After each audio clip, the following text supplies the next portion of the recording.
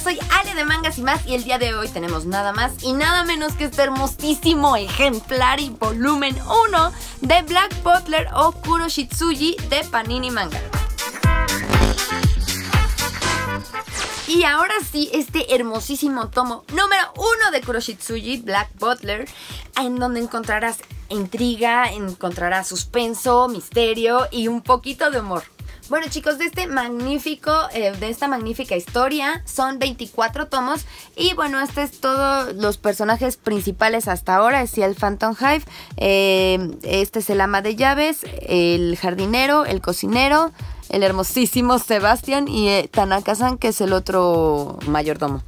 Y bien, la historia va de que si él vio morir a su padre y a su abuelo y a toda su familia de una forma muy cruel, porque su familia es una familia muy famosa en Inglaterra y siempre han sido ayudantes de la reina muy cercanos, entonces tienen muchos enemigos y si él desde pues muy chiquito vio cómo fueron acabando uno a uno con su familia y su deseo máximo en la vida, su finalidad, su propósito, por eso está vivo, es terminar con la gente que traicionó a sus padres y a su familia y, e hizo que la familia Phantom Hive tuviera un nombre pues de baja posición, por así decirlo. Entonces lo que quiere es vengarse de todos los que le pusieron el pie a su familia y mataron a sus padres y a sus abuelos.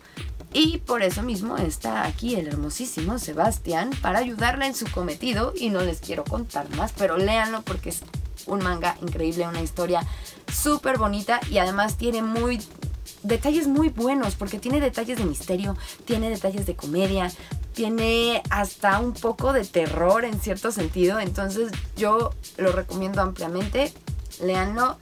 No son tantos, son solo 24. Digo, que tanto es tantito. Entonces, pues, esto fue Black Butler de Panini Manga. Y yo soy Ale de Mangas y más. Bye, a la próxima. Bye.